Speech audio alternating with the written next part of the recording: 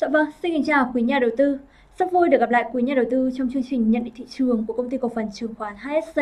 Tôi là Lương Duyên và sẽ tiếp tục đồng hành với quý nhà đầu tư để đi vào nhận định thị trường trong phiên giao dịch ngày 23 tháng 5 năm 2023. Và ngay sau đây thì chúng ta sẽ đi vào nội dung chính của chương trình. À, thị trường mở cửa trong phiên giao dịch ngày hôm nay với rất là ít không có quá nhiều thông tin quan trọng. À, và tiếp tục trong ờ, giao dịch trong biên độ hẹp trong các phiên giao dịch gần đây kể từ khi mà à, chỉ số VN Index của chúng ta test thành công ngưỡng hỗ trợ ở quanh vùng 1060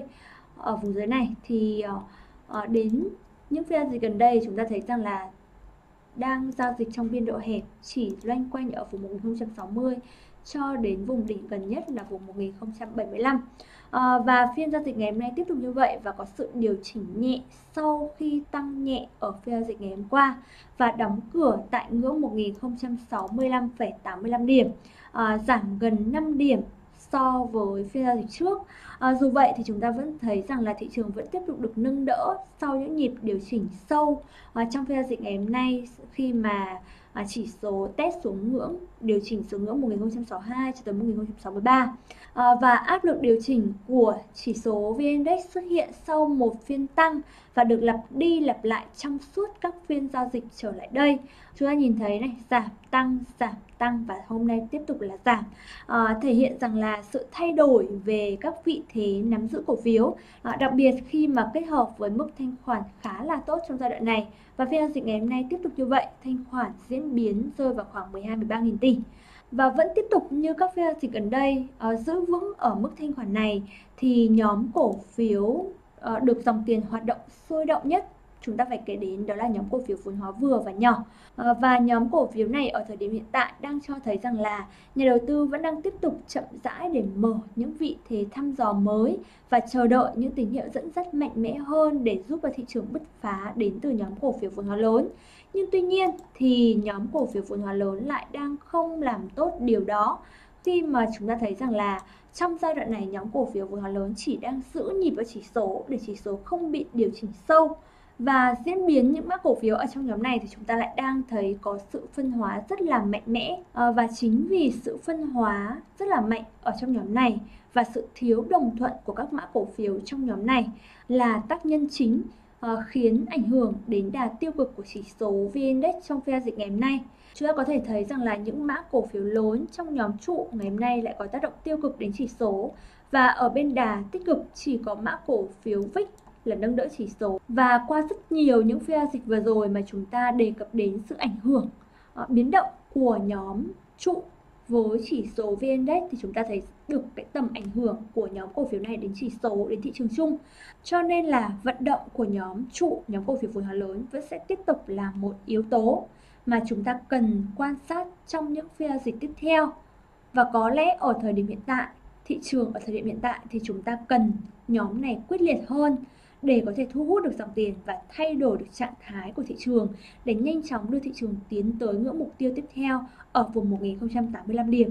À, chúng ta cùng nhìn về góc nhìn phân tích kỹ thuật của chỉ số VN Index thì chúng ta thấy rằng là à, trong những phiên dịch gần đây thì chỉ số đang dần thu hẹp biên độ dao động và chỉ còn đang dao động ở quanh ngưỡng vùng 1060 cho tới vùng 1065 à, và có lẽ điều này chúng ta cần sớm bứt phá hơn thị trường cần bứt phá để có thể vượt qua ngưỡng 1075 để tiến tới những vùng cao hơn ở trên này vùng 1085 và nếu như xu hướng của thị trường vẫn cứ mãi tiếp tục ở quanh biên độ hẹp như thế này thì rất dễ sẽ xảy ra những pha điều chỉnh. Nhưng tuy nhiên thì tóm lại là sau phiên giao dịch ngày hôm nay thì um, sự điều chỉnh nhẹ 5 điểm chưa thể thay đổi được xu hướng vận động của chỉ số VN Index. À, và nếu như xu hướng của thị trường trong phiên giao dịch ngày hôm nay vẫn chưa thay đổi thì quý nhà đầu tư vẫn có thể tiếp tục nắm giữ được cổ phiếu ở trong danh mục của mình. Nhưng tuy nhiên thì chúng ta phải chú ý đến những ngưỡng hỗ trợ của chỉ số để có những cái hành động uh, kịp thời. Ở ngưỡng 1060 và ngưỡng hỗ trợ cứng hơn ở quanh vùng 1045 à, đây là vùng rất là chắc cho chỉ số rồi và chúng ta không kỳ vọng chỉ số sẽ quay về vùng này. À, và chúng ta nhìn thêm sang về góc nhìn kỹ thuật của nhóm cổ phiếu trụ, nhóm cổ phiếu VN30. À, và chúng ta thấy rằng là chỉ số VN30 thì cũng đang dao động tương tự như chỉ số VN Index và với phiên giao dịch ngày hôm nay thì chưa làm thay đổi xu hướng của chỉ số VN30 trong ngắn hạn. À, tuy nhiên thì ngưỡng hỗ trợ 1060 vẫn tiếp tục là ngưỡng hỗ trợ quan trọng đối với chỉ số VN30 và nếu như thủng ngưỡng hỗ trợ này thì chúng ta hoàn toàn chỉ số hoàn toàn có thể về vùng 1035. À, nhìn một chút về một vài những mã cổ phiếu trong nhóm này. Đầu tiên đó là mã cổ phiếu Vinamilk. Đây là mã cổ phiếu ngày hôm nay có đà giảm tương đối là mạnh. Nhìn về dài hạn thì mã cổ phiếu Vinamilk đang vận động trong xu hướng giảm. À, và hôm nay thì lại đang có một cây nến khá là xấu với vôn khá là cao à, và đã thủng ngưỡng hỗ trợ, ngưỡng đáy gần nhất. Điều này đang hình thành lên một mô hình đó là đáy sau thấp hơn đáy trước. Ờ, và như vậy thì có thể nói là đối với mã cổ phiếu Vinamilk thì vẫn đang tiếp tục trong trạng thái dò đáy và tìm kiếm điểm cân bằng để có thể quay đầu. À, nhưng thanh khoản chúng ta nhìn thấy thanh khoản gia tăng trong phiên giao dịch ngày hôm nay khá là lớn. Đây là điều không mấy tích cực cho mã cổ phiếu này và chúng ta kỳ vọng rằng là à, đối với mã cổ phiếu Vinamilk thì có thể tìm điểm cân bằng được ở quanh vùng 65 66. Mã cổ phiếu tiếp theo là mã cổ phiếu VIX. Đối với mã cổ phiếu VIX thì chúng ta nhìn thấy ở đây, mã cổ phiếu VIX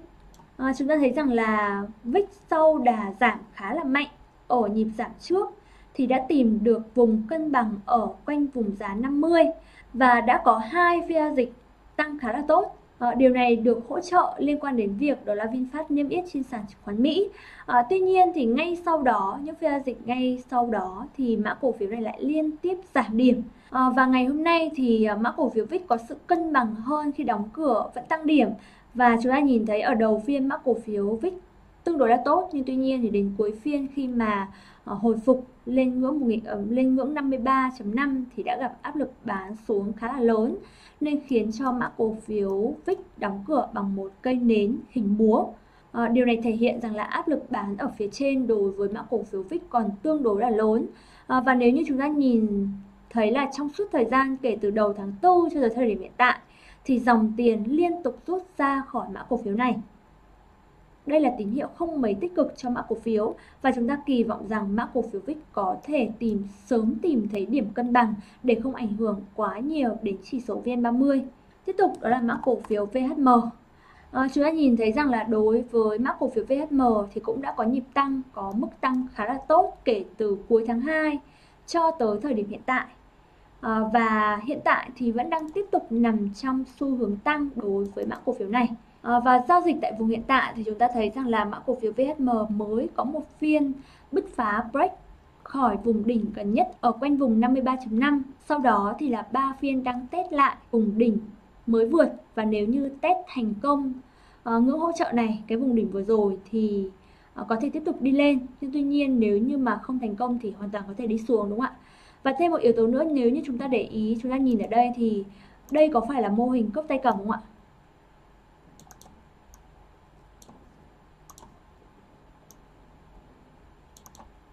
Đây có phải mô hình cốc tay cầm không ạ? Và nếu như đây là mô hình cốc tay cầm thì chắc chắn là ờ, uh, VHM sẽ có một nhịp tăng rất là tốt trong thời gian tới. Thông thường nếu như chúng ta chỉ nhìn như thế này thôi thì chúng ta thấy rằng là cái mô hình dạng của mô hình này rất giống mô hình cốc tay cầm đúng không ạ? Và nếu như đây là mô hình cốc tay cầm thì VHM sẽ có một nhịp tăng nữa rất là tốt lên phía trên này. Tuy nhiên thì chúng ta cần phải đi giải mã xem đây có phải là mô hình cốc tay cầm hay không. Vậy thì mẫu hình cốc tay cầm là gì ạ? À, mẫu hình cốc tay cầm là mẫu hình mà nó giống như tên gọi của nó. À, anh chị tưởng tượng đó là về một cái cốc thì cái cốc đó sẽ có phần thân cốc và một phần nhỏ để cầm nó gọi là phần tay cầm và cũng giống như tương tự như hình của VHM ở trên màn hình mà anh chị nhìn thấy thì đây cũng có thể là phần thân cốc và đây cũng có thể là phần tay cầm đúng không ạ? À, về lý thuyết của mẫu hình cốc tay cầm thì có khá là nhiều. À, những cuốn sách viết rất kỹ về mô hình này anh chị có thể tìm hiểu đọc thêm. À, nhưng tuy nhiên thì à, duyên cũng sẽ nói qua trong chương trình ngày hôm nay. À, theo thống kê trong quá khứ thì mô hình cốc tay cầm là một cái mẫu hình thường xuyên xuất hiện và phổ biến nhất trước khi bước vào giai đoạn tăng giá của một mã cổ phiếu. Tại sao mà chúng ta lại nói như vậy? Thì anh chị hình dung đó là à, khi mà anh chị đầu tư trên thị trường chứng khoán được một thời gian ấy thì anh chị cũng biết rằng là diễn biến của giá cổ phiếu thì có lúc tăng và có lúc giảm đúng không ạ? Và trong thị trường giảm giá rồi tăng giá đều sẽ tạo lên một cái đường vòng cung. À, anh chị giảm giá rồi tăng giá thì sẽ tạo lên một cái đường vòng cung và phần hình thành sau đợt tăng giá của thị trường và có dạng đáy võng xuống đó chính là phần thân cốc. À, sau khi phần thân cốc hoàn thành à, một mô hình khung giao dịch sẽ tiếp tục hoàn thành ở phía bên phải và tạo lên cái tay cầm. Và đó chính là tên gọi mô hình cốc tay cầm. Nhưng có một vấn đề đó là uh, khi mà chúng ta áp dụng vào đầu tư thì mô hình cốc tay cầm nó không chỉ đơn giản là chỉ biểu hiện ở mặt hình ảnh mà chúng ta cần phải hiểu sâu hiểu rõ hơn về mặt bản chất để xác nhận rằng đó là mô hình cốc tay cầm thực sự thực thụ vậy thì những yếu tố mà chúng ta cần quan sát khi mà thị trường bước vào mô hình cốc tay cầm là gì? À, thì anh chị có thể nhìn thấy ở trên màn hình cái yếu tố đầu tiên để xác nhận đây là mô hình cốc tay cầm hay không ấy đó là về xu hướng tăng giá trước đó. Và với xu hướng này phải đảm bảo rằng tăng được khoảng là trên 30%, tối thiểu là 30%. À, bởi vì rằng là cái xu hướng tăng trước đó sẽ đảm bảo rằng là cổ phiếu này đang nằm trong xu hướng tăng giá rất là mạnh mẽ và với việc điều chỉnh tạo mô hình cốc tay cầm chỉ là bước đệm để chuẩn bị cho một nhịp tăng giá mới. Chính vì vậy mà ờ, cái đoạn tăng trước phải là cái đoạn tăng cho thấy cái lực rất là mạnh.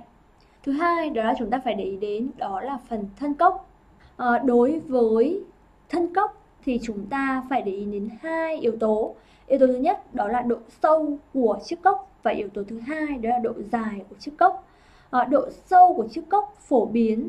sẽ là từ khoảng 12 cho tới 33%, thỉnh thoảng sẽ là 40%. À, ờ, còn nếu như mà độ sâu sâu quá, sâu hơn 50% à, ờ, thì có khả năng mẫu hình này bị sai rất là cao và thêm một yếu tố nữa đó là cái phần thân cốc này ấy nó có thể là phần hình chữ U hoặc là nó cũng có thể là hình chữ V nhưng tuy nhiên thì hình chữ U vẫn sẽ tốt hơn hình chữ V bởi vì là uh, với mắc cổ phiếu đó có một khoảng thời gian đi ngang để tạo nền còn đối với uh, cốc mà tạo mô hình chữ V thì nó đang là cái nhịp tăng sốc và nhịp tăng sốc thì sẽ không tăng được dài chính vì vậy mà uh, thân cốc là chữ U sẽ tốt hơn thân cốc là chữ V.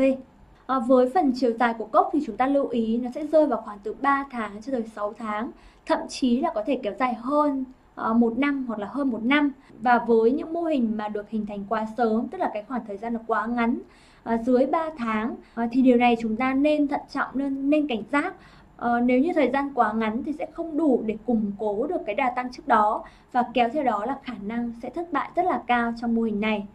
Thêm một yếu tố nữa rất là quan trọng đối với phần uh, thân cốc đó là uh, về khối lượng giao dịch của mã cổ phiếu đó trong vùng thân cốc phải là giảm dần và cạn kiệt dần khi mà về vùng đáy. Đây là một yếu tố mà chúng ta hết sức chú ý bởi vì là có những mẫu hình cốc tay cầm thất bại. Khi mà quý nhà đầu tư không để ý những cái yếu tố đó và chỉ để ý đến hình thái là chiếc cốc và cốc tay cầm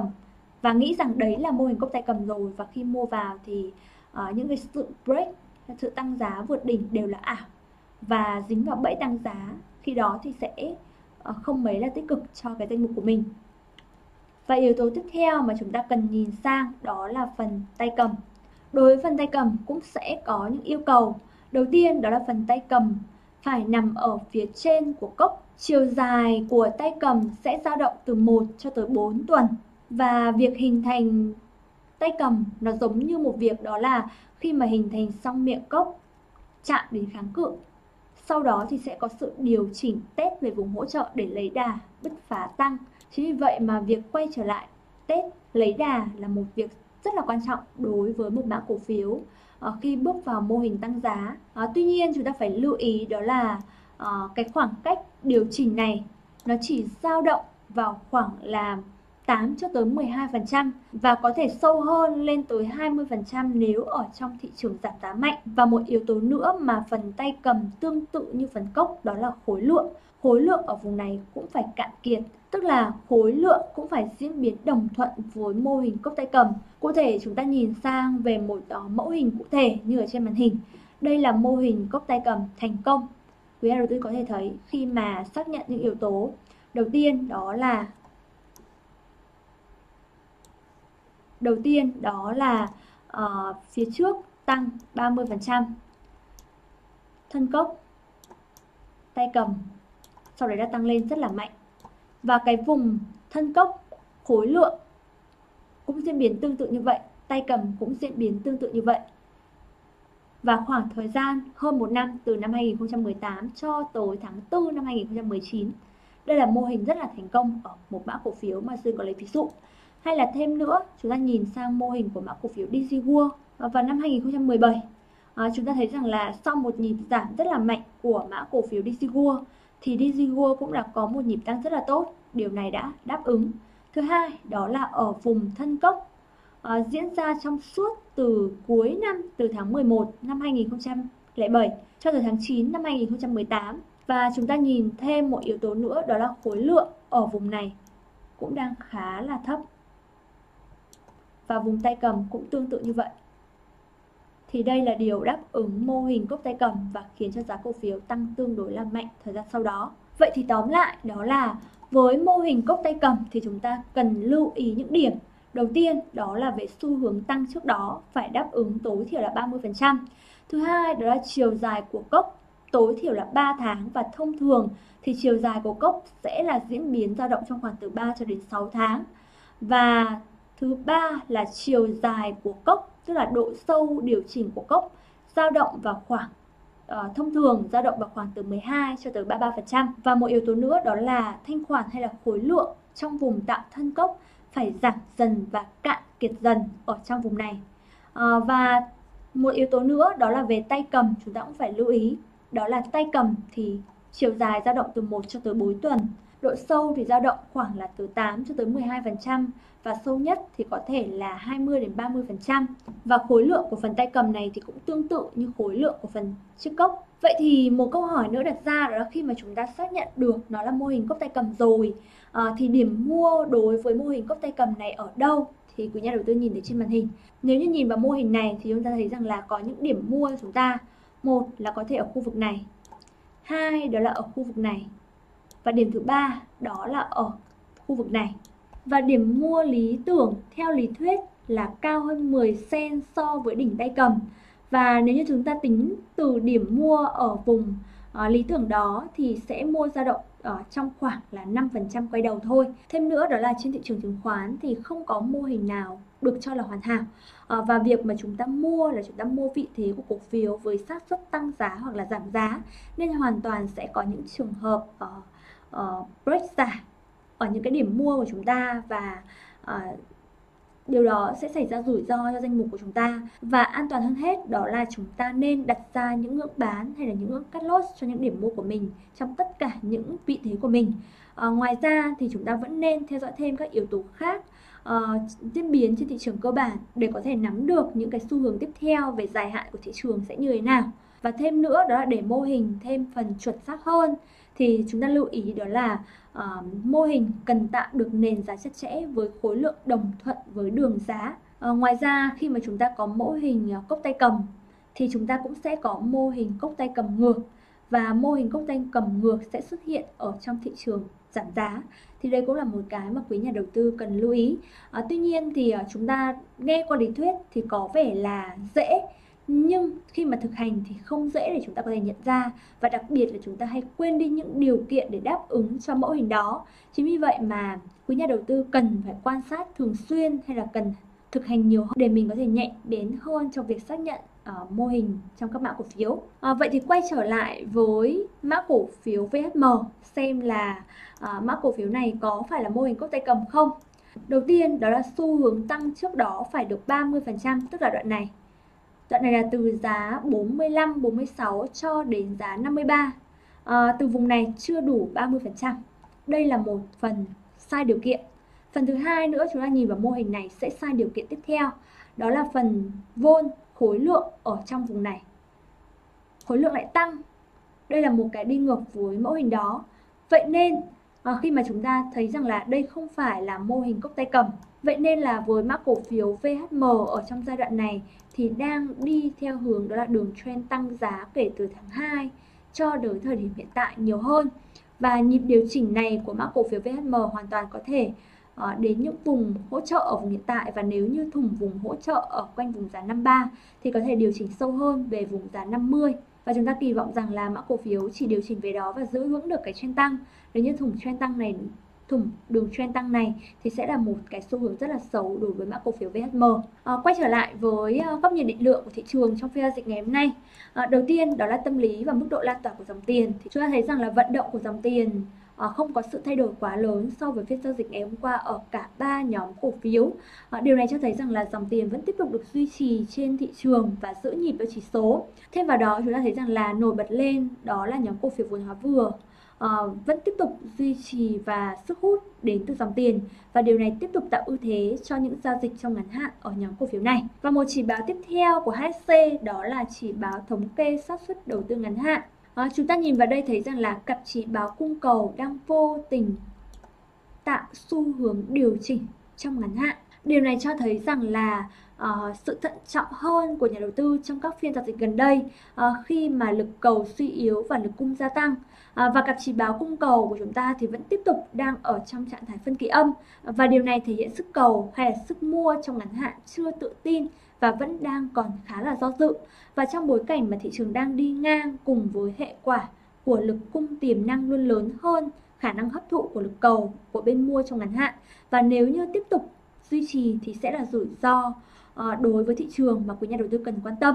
Ờ, vậy thì tóm lại kết hợp với chỉ báo định lượng của HSC và qua góc nhìn phân tích kỹ thuật về uh, chỉ số VN30 và chỉ số VN Index thì chúng ta thấy rằng là nhìn chung thì bức tranh vận động tích cực của thị trường tới thời điểm, tới phiên giao dịch ngày hôm nay thì vẫn chưa bị thay đổi. Nhưng nếu tiếp tục kéo dài và vắng mặt đi sự hỗ trợ đến từ nhóm cổ phiếu trụ sẽ là rủi ro tiềm tàng đối với thị trường. À, và chiến lược với quý nhà đầu tư tại thời điểm hiện tại đó là à, quý nhà đầu tư vẫn sẽ tiếp tục nắm giữ với những mã cổ phiếu đang có trong danh mục của mình. À, tuy nhiên với những vị thế bên mua thì có lẽ là quý nhà đầu tư cần chậm lại hơn cần bình tĩnh hơn. Và nếu như mua thì nên ưu tiên thăm dò ở những mã cổ phiếu mà tạo được nền giá tích lũy chặt chẽ không nên FOMO đối với những mã cổ phiếu đã tăng quá mạnh còn đối với bên bán thì của nhà đầu tư tiếp tục cân nhắc những mã cổ phiếu yếu, đặc biệt là yếu hơn thị trường chung à, thì nên canh hạ tỷ trọng ở những nhịp hồi phục kỹ thuật của mã cổ phiếu đó.